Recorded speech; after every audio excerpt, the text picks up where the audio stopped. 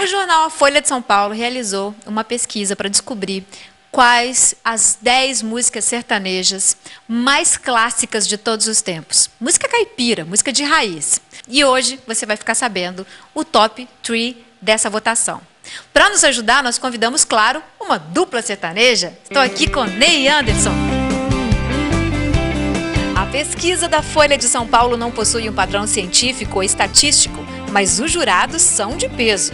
Entre os 16 convidados pelo jornal paulistano estão o jornalista Marcelo Tass, que apresenta o CQC e adora música caipira, o cantor Zezé de Camargo, a dupla das antigas Milionário e José Rico, o Tinoco, da dupla Tonico e Tinoco, o historiador Zuzan Homem de Melo e mais uma dezena de escritores e pesquisadores da cultura caipira. Mas e você aí de casa? Se você fosse convidado para participar dessa pesquisa, em qual música sertaneja você votaria? Né? Qual música caipira é mais clássica da história brasileira?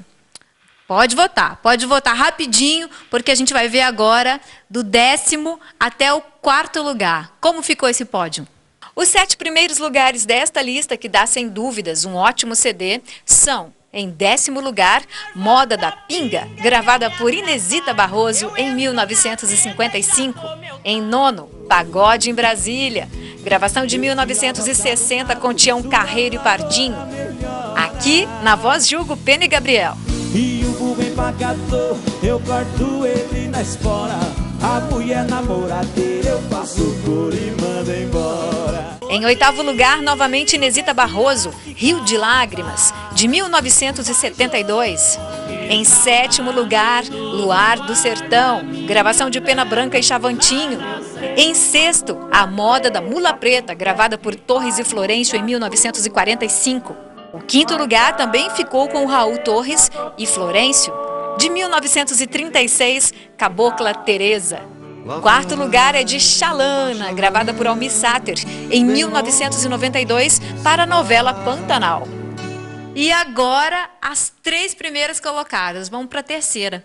Canta pra gente, Ney Anderson. Fizemos a última viagem foi lá pro sertão de Goiás. Fui eu o Chico Mineiro, também foi o Capataz. Esta foi a terceira e agora segunda música mais votada, como a caipira sertaneja mais clássica de todos os tempos. Cantem.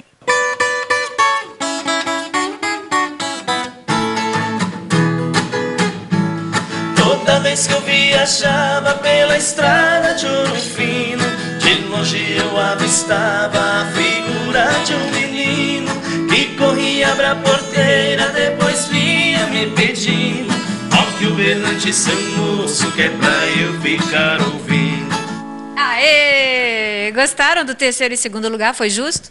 Com certeza, justo. Eu achei mais justo ainda o primeiro lugar. Primeiro lugar. Sou fã dessa música, muito fã dessa música. Então cantem, que o pessoal de casa está super curioso para conhecer. Nesses versos tão singelos, minha bela, meu amor.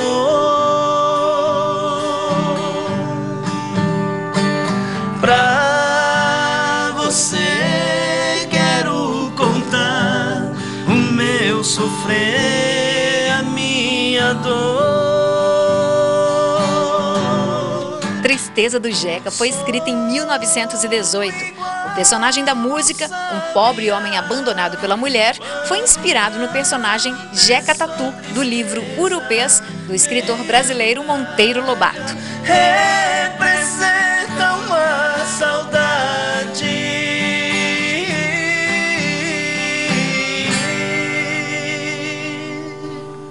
Aê! Que linda, essa música é muito linda mesmo. Convidar a moçada também para visitar o nosso site www.neyanderson.com.br. Conheça as nossas músicas que não são tão antigas assim, tá bom?